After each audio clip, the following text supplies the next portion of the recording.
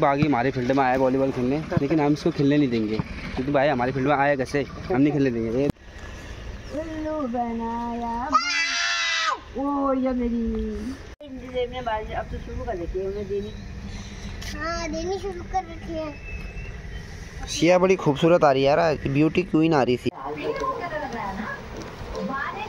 Hello दोस्तों नमस्कार। मैं आपका दोस्त विकास पंत स्वागत करता हूँ अपनी न्यू वीडियो पर। दोस्तों सुबह के बजने वाले हैं साढ़े दस।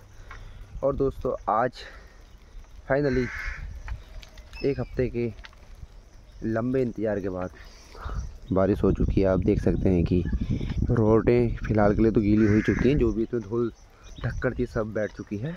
और देखिए अब एक बारिश से गाँव का माहौल देखिए आप, कितनी हरियाली। हरियाली तो पहले भी थी, लेकिन और अब गाँव और भी हरा भरा दिखाई दे रहा है। इससे बारिश का यही फ़ायदा है शायद ईजा भी घास आ चुकी है मैं उसे लेने भी नहीं जा पाया इकट्ठा आज उसका।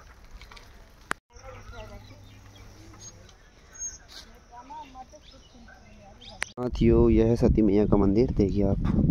बारिश के बाद कितना बढ़िया दिख रहा है। ये रोड आज बिल्कुल ठंडी सड़क की तरह दिख रही है हमारे गाँव की, और खेतों की हरियाली फिर से वापस लौट आई है, जो हरियाली बिल्कुल एकदम रूखी रूखी सी हो गई थी, अब वो पूरी पूर्ण तरीके से हरियाली खिल चुकी है और जो मौसम पिछले एक दो हफ़्ते से बना पड़ा था, बूंदाबादी भी हल्की हल्की बूंदाबादी हो रही थी, फिर मौसम गायब हो जा रहा था। फ़िलहाल वो आज बरस चुका है, शायद अब मानसून आ ही चुका है, क्योंकि काफ़ी हद तक का बारिश हुई आज उससे क्या है कि मौसम काफ़ी ठंडा हो चुका है। ईजा भी आ चुकी है घास से, मैं जा नहीं पाया लेने के लिए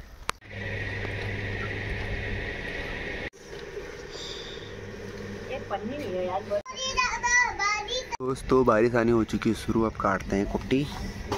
ताकि ये ये ताकि ये काम कंप्लीट हो जाए फिर उसके बाद बाकी और जो भी काम है उसको करेंगे। क्योंकि अब हल्के हल्के बारिश फिर से आना शुरू हो चुकी है। कि मानसून अब आ ही चुका है।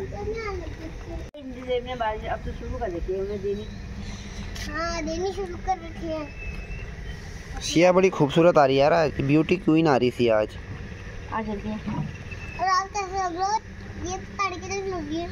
दादी? दादी ताड़ी का तू पूछना। उल्लू बनाया। ओ ये मेरी। ढाका मज़ा आने का तो।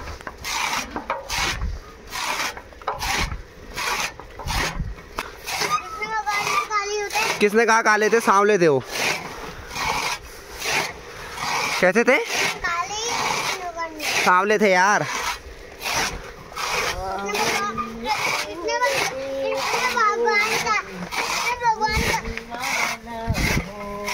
अड़क क्यों रही है वो तो भजन गा रही तू बोल।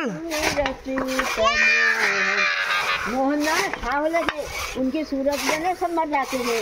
वो भगवान बोले थे वो थे। तो की कितनी अरे अरे ना उसको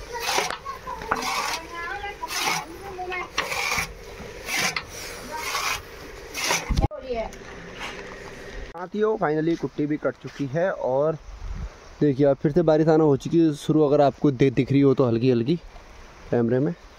और देखिए फ़ील्ड बिल्कुल एकदम हो चुका है क्लियर क्योंकि बच्चे अब फ़ील्ड में आना शुरू हो गए खेलने के लिए। मैं तो उनके साथ खेल नहीं रहा हूँ क्योंकि मैं जा रहा हूँ आजकल झारखंड में खेलने के लिए। तो मैं उनके साथ खेल नहीं रहा हूँ। तो जब ऐसा मुझे फील होगा कि यहाँ पे गेम अच्छा हो रहा है, बच्चे सही खेल रहे फिर यहाँ पे बच्चों के साथ खेलेंगे गेम तो चलते हैं मैंने जाना दुकान, जरा बारिश आ गई है, फ़ोन भीग जाएगा। चलते हैं। एकमात्र साधन है हमारे पास यही। चलिए।